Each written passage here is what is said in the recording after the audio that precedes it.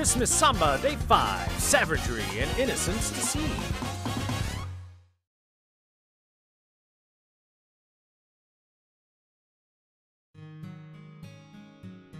The match is coming up in just a few hours. How are you feeling?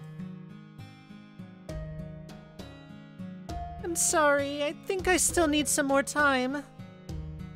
Please, don't apologize. Honestly, I'm sorry that I couldn't do more to help. If you were a normal human, I could have used a purification miracle to cleanse the poison. But since you're a god of this region, well... Alright, I'll go tell Bradamante and Gouda that you can't compete. Hold on, it's just you and me here now, yes? Hmm? Yes, I believe so. Bradamante and Gouda are both out getting ready. Perfect. You see, I still have one last idea.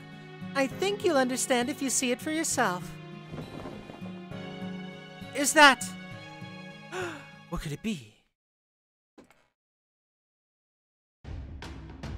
I guess you can't compete after all. Whoa.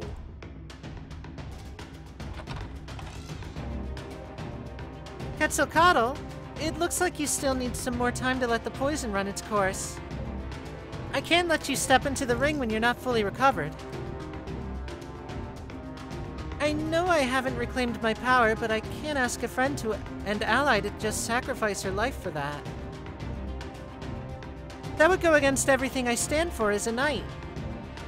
So, even if we can't com keep competing together, that doesn't mean I'm giving up. After I've officially withdrawn, I'll find a new way to pursue my knightly duties. One where I can still hold my head high and... I feel better than ever. For? Hmm? Uh, that's strange. There's something different about you, but I can't quite put my finger on it. Still, you're wearing a ring costume and your mask, so you must be my partner, right? Different? Why would you think something is different? Can't you see what I'm wearing on my head? Why, who could I be but Quetzal Mask? Right, Master?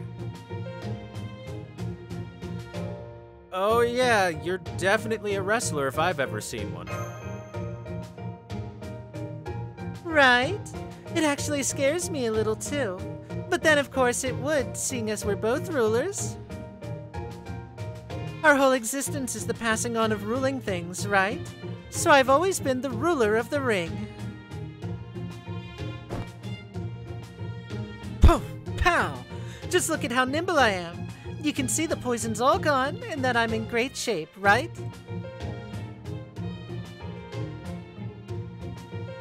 Hey, that's great! I knew that shameful attempt to poison you would be useless against a heart so just.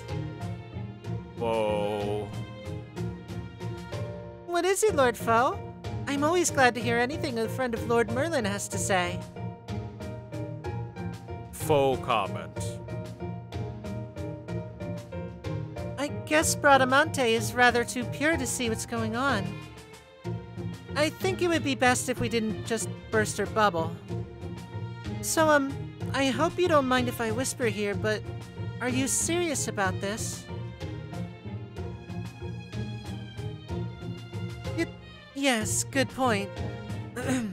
I guess I did get a little bit carried away. I'm calmer now. I asked her if I, she was serious too, Mash. But she just looked me right in the eye and said I was the only one who could do this. How could I say no to that? So I decided to set aside our religious differences and accept. As her friend, a heroic spirit, and a fellow woman warrior, I felt it was the least I could do. And truly, the thought of having to forfeit because of something so vile and underhanded galls me. It would mean all the work I've done as a coach would be for naught. So I figured cutting loose and engaging in a bit of mild shenanigans would at least be better than doing nothing. I guess Bradamante's tenacity must have rubbed off on me. And you don't think anyone will catch on?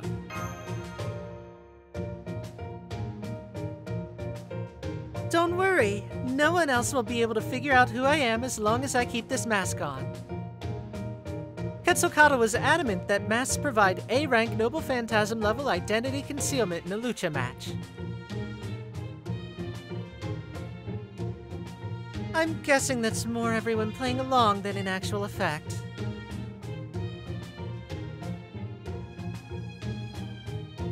Still, are you sure it's okay to pretend like this? Especially after coming so soon after... Especially coming so soon after all the cheating in the last battle.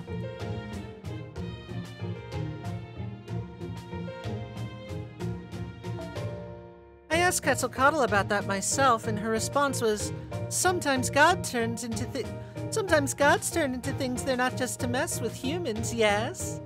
So, I think it's fine. So on that note, you can call me New Quetzal Mask. Now that I've recovered from being poisoned, I'm back with many more punches and kicks than before. So please, pay it no mind if my fighting style is completely different than it was before. I have to admit, it's nice that wearing this mask means I don't have to be so constantly focused on making sure I exude an aura of saintliness.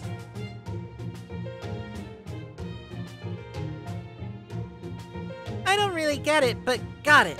I'll make sure to follow your lead, especially since you only just recovered. Just tell me what I can do to make it easier for you to fight. I will. Now then, let's go kick some ass!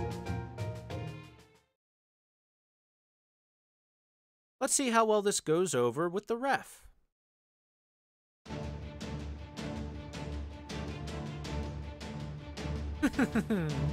so, you defeated the American team and the Chinese team, yeah? Well, that's nothing. They may have been the most cruel and sadistic of the four Heavenly Kings, but we're the wildest and the toughest. Get ready for the biggest twist in this whole event. Just be careful not to keel over from the shock.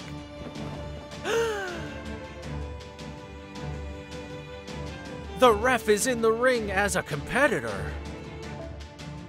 We represent the Animal Kingdom. Yeah, I bet you never thought you'd have to fight one of this event's officials. Expected it, actually. And this is my trusty partner. As soon as I saw her, I knew she was the one. Just look at that wild boar on her shoulder. And that outfit, it's perfect for wrestling. I don't think you'll find a better warrior for the Animal Kingdom anywhere in the world.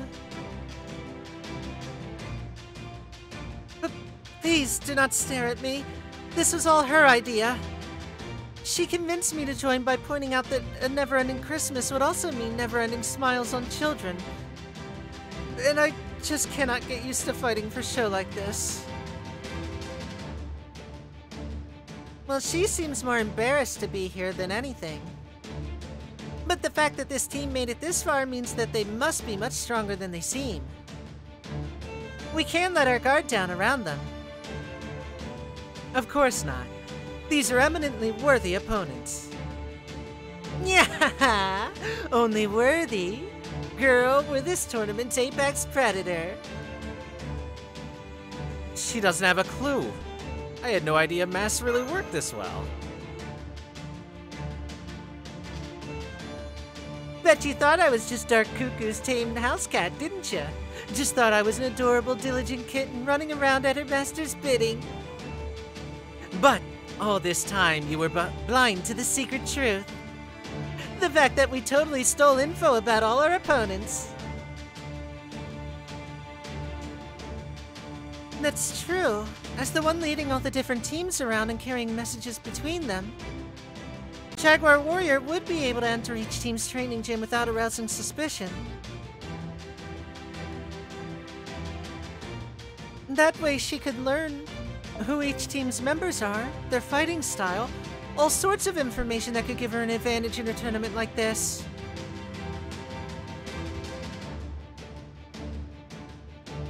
I took you for a cat, but it seems you're more of a rat. Our last opponents were apparently not the only vermin scurrying around this place. I thought... I thought Black Quetzal Mask was trying to hold a fair, legitimate tournament. Are you sure she would approve of you blatantly cheating like this? You know what makes wild animals wild. The fact that they'll do whatever it takes to survive. Would you blame a chameleon for blending in? A possum for playing dead? A sloth for being lazy? No, wait, scratch that last one. Those things actually die if they exert themselves too much. Anywho, well, since Dark Cuckoo hasn't actually said anything about it all this time, I'm positive she's cool with it, yeah. I have no interest in cowardice or honor. Survival is all that matters. Besides, I'm sure there is a secret place where the results are revealed, or an illegal way to watch the matches. There must be, given that the people appear to be betting on them. What are you talking about? Children often come up to me whenever I'm out in town lately. They ask for my autograph or to shake my hand or if there's any news of a figurine being made of me. I'm told that Mexican children look up to strong wrestlers, so they must know that I am one. you should see the way they smile at me. and indeed, it is those smiles that I fight for, and they are why I must keep winning. They're all that I need in this world. That's the spirit! Anyway, thanks to my little bit of subterfuge, my spying went perfectly. I know everything about you your moves, your combinations, your weaknesses, everything! At this point, the Forest Fourth Dimension, that's our team name, BT, by the way, oh, but has this in the bag. The samba counter hold I came up with for this day is so tight you're gonna feel like your limbs are snapping. So go on, dance as much of your silly samba as you like. It's not like it'll do you any good, yeah. Raise his fist. Huh? Huh? Did, did you not hear me? I said dance all the silly samba you want. Stepping in closer, fists raised. Huh? Orthodox karate with a super low center of gravity? What happened to the funky samba rhythm, yeah?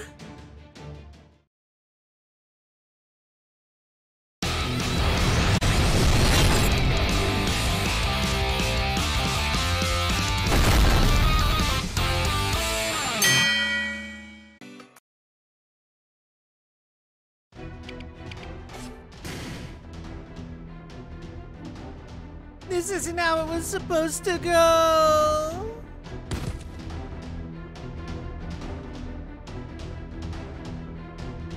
What?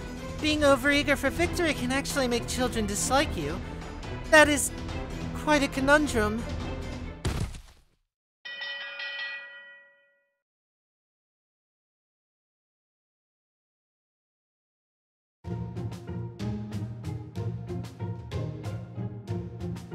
Difference in New Quetzalmask's fighting style really worked in your favor. In retrospect, getting poisoned might have been the best thing to happen for this fight. Oh!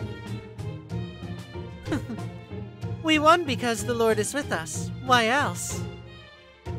Agreed, though I hate to say, you really surprised me. I had no idea you were so good at melee attacks, too. It was almost like watching Coach Martha. She still hasn't realized.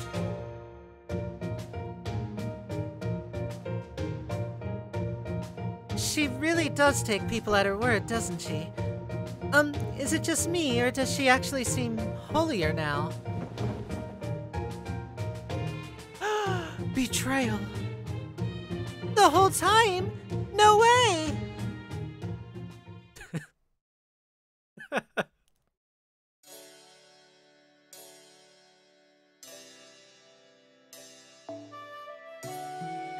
I feel totally fine after taking a day off to rest, yes. I can even dance a samba at 120% power.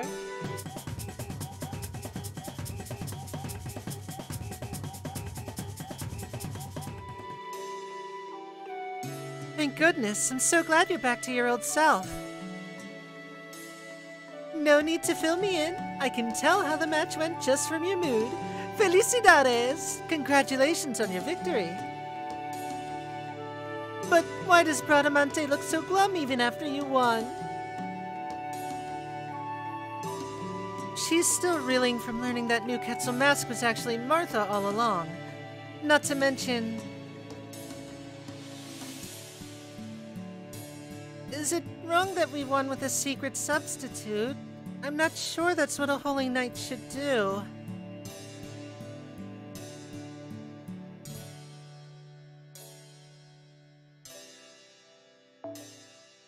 As long as you were not disqualified for cheating, then it doesn't count. No. If it did, we would never have moves like Poison Mist, or be able to use corkscrews doing, during bouts. Just so you know, I had my reservations about this too, okay? I even said no at first. But if Quetzalcoatl told you, surely St. Nicholas would want you to fight in a mask to protect his honor, yes. Wouldn't you be inclined to agree with her too? Besides, we can't let the true Santa power fall into the wrong hands and fully and sully St. Nicholas's name. That's the most important thing here. Cowardice is always a matter of perspective. If winning will serve justice and losing allow injustice, then winning is all that matters. I'm certain even you have fought battles in the past where you didn't always loudly proclaim who you were at the outset.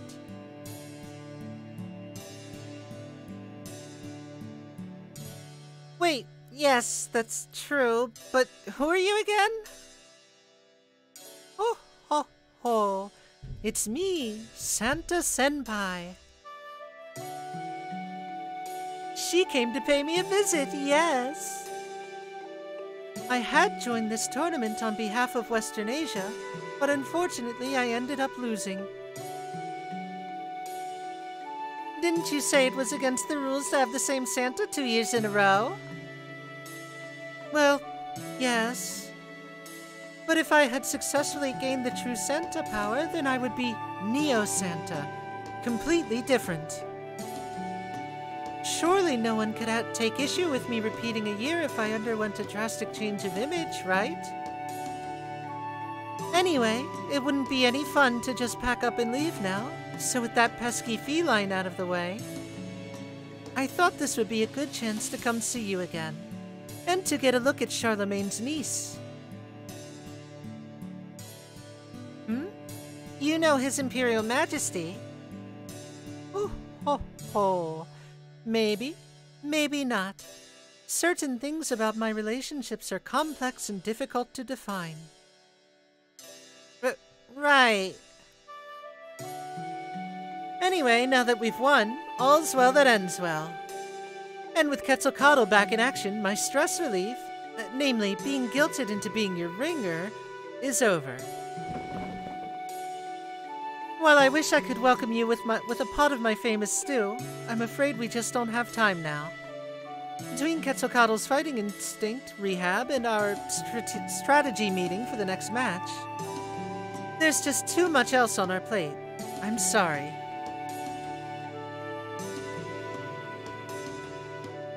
Stew, huh? That's too bad. I would have loved to try some, but that's alright. Santa doesn't get hungry. Uh, Santa Senpai, I think you got your inner and outer voices mixed out. Whoops! How silly of me. Oh, ho, ho. I'll be glad to sample your stew some other time.